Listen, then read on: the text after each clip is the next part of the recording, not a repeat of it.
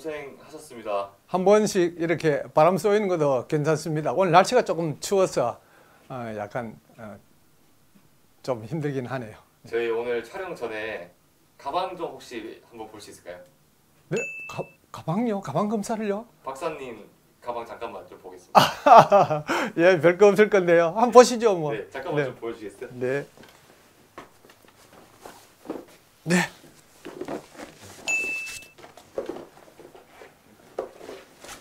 저희가 왜 그러냐면요. 맨날 이렇게 큰 가방 메고 다니시는데 도대체 안에 뭐가 들었는지 그게 너무 궁금해서 오늘 그 갑자기 이렇게 여쭤보게 됐습니다. 아, 좋습니다. 뭐 안에 탈탈 다 들어오시죠. 어머니 왜 김을 이렇게 예, 이거는 어, 생김입니다. 예, 저는 김을 생걸로 먹는데요. 생걸로 먹어도 참 맛이 좋습니다. 다닐 때는 뭐 김을 보통 가지고 다니고 또 김 없을 때도 있습니다만은 김을 가지고 다닙니다. 어제 가방에 도시락통이 굉장히 많아요. 한번 다 꺼내 보겠습니다. 네, 좋습니다. 이게 다 이게 다 뭐죠, 박사님? 다 제가 이 먹을 겁니다.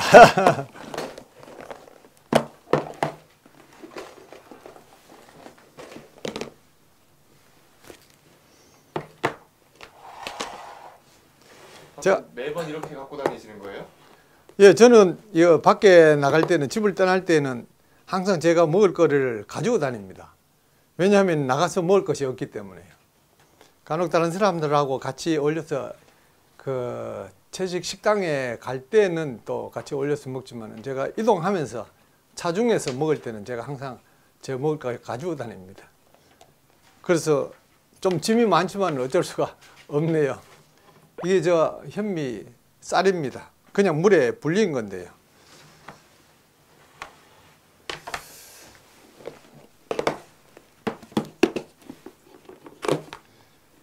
자, 그리고 요거는 그 채소입니다. 저는 이 초록색 잎채소를 어, 장을 안 찍어서 그냥 먹고 있습니다. 이 먹을 만 합니다. 그리고 요건 과일입니다. 저 밥을 다 먹고 또 과일 같은 걸로 좀 입을 이 마무리를 하면 좀 좋기 때문에요. 그리고 이, 이 생쌀이나 또 생채소를 먹으면은 또 이 너무 이 맛이 밋밋할 때가 있습니다. 그래서 이 대추 같은 것을 에, 같이 곁들여서 먹으면 참 맛있습니다. 이걸 한두 숟가락 쌀을 먹고 그다음에 이 대추 같은 걸 하나 정도를 먹으면은 입맛이 변화가 되고 대추는 또 어, 건조 과일이지만 그렇게 많이 안 달고 해서 어, 또 국산이고 해서 저는 좀 애용을 하는 편입니다. 그리고 이번에는 그 호박씨를 제가 좀 어, 가지고 와봤습니다. 이 늘 비싼 걸 먹으면은 좀, 어, 좀 지루해질 때도 있을 거고 또 물, 이, 물릴 때도 있고 그렇습니다. 이 호박씨 제가 이 그 마트에 가 보니까 이 수입한 건데 이 뭐 먹어도 괜찮을 것 같습니다. 그 호박씨 먹으면 이쌀 먹는 것과 좀 맛이 다르니까요. 오늘 그러니까 이게 한 여섯 가지쯤 되네요. 이래서 저는 늘뭘 가지고 다니니까 이 가방이 늘 먹을 걸로 이제 꽉 채워져 있습니다. 이게 상당히 좀 번거롭습니다. 네. 그러면 주로 외식이나 모임 있을 때는 보통 어떻게 하시는 거예요? 저는 다른 사람들하고 식사 모임 있을 때는 제가 싸가 가지를 않습니다. 어, 이 밥을 같이 먹는 것은 상당한 어떤 이 관계를 말하는 것이고 또 이 유대 관계를 갖기 위해서 또 같은 밥을 먹고 이렇게 합니다. 근데 이 먹을 때 몸에 해로운 것은 가능하면 피하려고 합니다. 그래서 채식 전문 식당에 가서 먹습니다. 그런데 가서도 제가 거기 있는 거 다 먹지를 않습니다. 제가 좀 골라서 어, 저를 좀 힘들게 하는 것은 좀 피하고 그렇게 먹고 있습니다. 근데 여하튼 차 먹을 때는 이렇게 먹습니다. 이게 아주 좋고 또 속도 편하고 하기 때문에. 그럼 우리나라에 어떤 식문화가 좀 자리 잡혔으면 하시는지에 대한 의견이 궁금합니다. 어, 요즘 그 한국 사회는 이 먹는 이 식 문화가 굉장히 빠른 속도로 바뀌고 있습니다.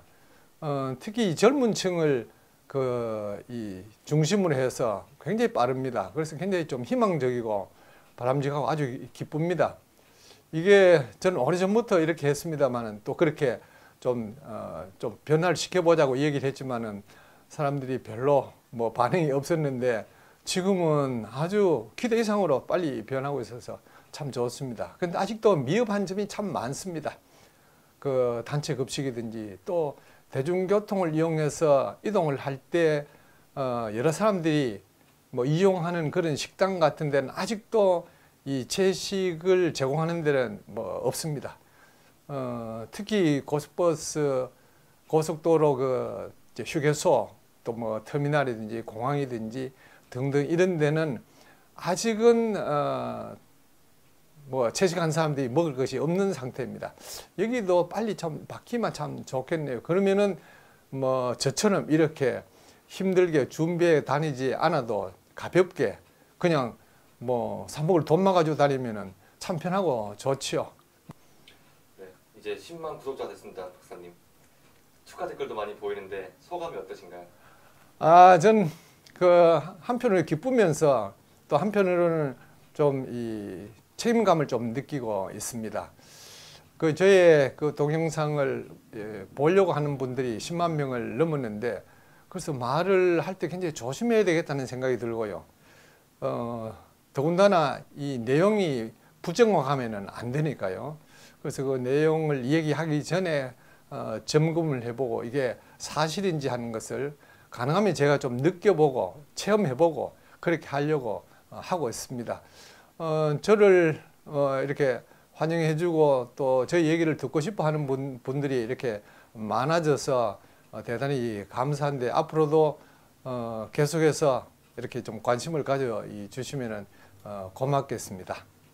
네, 박사님 1만 구독자 때 저희가 현미 채식 먹방을 했습니다.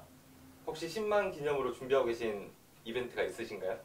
뭐, 뭘 해야 되겠다 하는 생각을 가지는데, 어, 이 저희 동영상을 보시는 분들이 어, 무엇을 좀 바라고 계시는지 아직은 제가 파악을 못했는데요.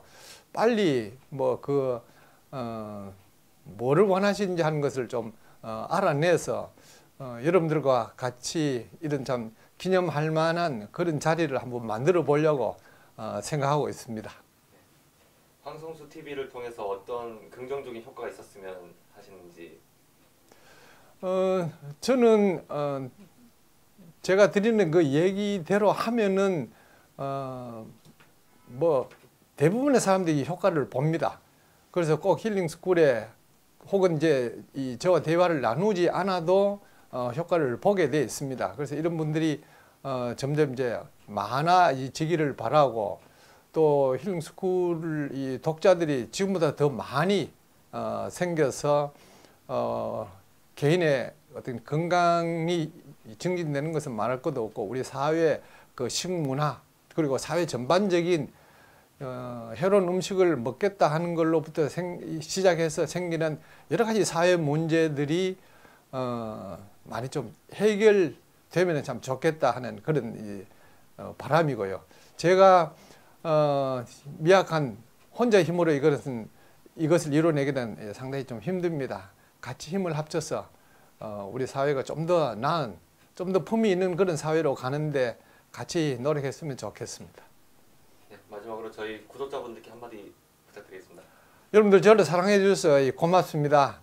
어, 앞으로도 더 어, 사랑받는 그 유튜버가 되기 위해서 그리고 좀더 어, 정확한 그리고 어, 효과 있는 그런 어, 내용들을 전달하기 위해서 저도 애를 많이 쓰겠습니다. 여러분들 감사합니다.